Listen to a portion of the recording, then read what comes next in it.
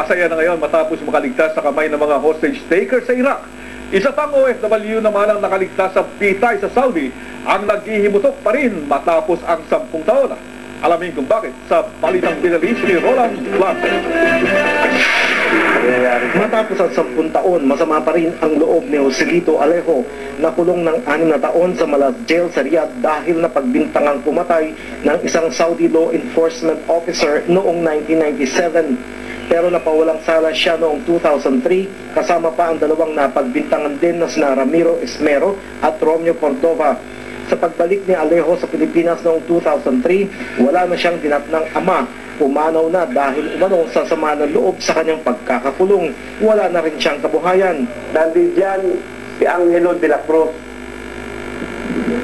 na ilang araw lang na na-hostage nabigyan ng 100% assurance ang kanyang mga anak na makapagtatapos through the help of ano, uh, Senator Jambi Madrigal binigyan ng bahay at lote na kung sino mang isang senador at binigyan ng pabuya ng ating kagalang-galang at kitagang Pangulo Gloria Macapagal Arroyo ng isang milyon.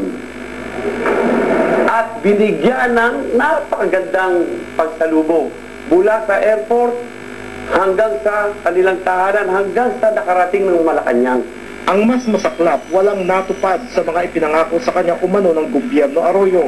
Hanggang sa ngayon, tanging kopya ng artikulo na ginupit niya sa dyaryo ang piping saksi sa mga pangako sa kanya. Kagalang-galang na Pangulo, kaya hindi, hindi ko naman po siguro kailangan maglumugod sa inyo para pangako nyo eh na ako ay bibigyan nyo ng pagkakataon makapagtrabaho ulit sa ibang bansa.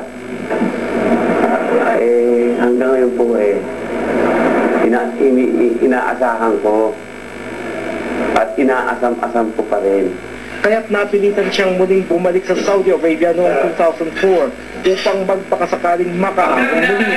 Kahit aniya ito ang bansang nagbintang at nagtulong sa kanya at muntik na niyang kamatay. Aniya mahigit sa limampung nakasama niya sa kulungan ang napugutan ng panahong nasa death row siya, kabilang ang mga Pilipino. Tatlong Pilipino ang kamakailan lang ay hinatulan ng kamatayan kaugnay sa pinagputol-putol na katawan ng tatlo ring Pinoy sa Jeddah noong nakaraang taon dahil sa sugal. Bakit yun nakapatay na? Nakukuha nilang tustusan, nakukuha ang gasusan. Although, kaban ng OFW yan. Okay? Samantalang kumpara mo sa akin, wala naman akong pinatay. Bakit ako nabulok? Yun nga tinasabi nila, kami ang mga bagong bayani ng ating bansa. Pero hindi. Ako ang isa sa binulok na bayani ng ating bansa at pinabayaan sa loob. Uh, pati pa nga ako nabulok. Nagbabalita sa Middle East, Roland Blanco, Riyadh.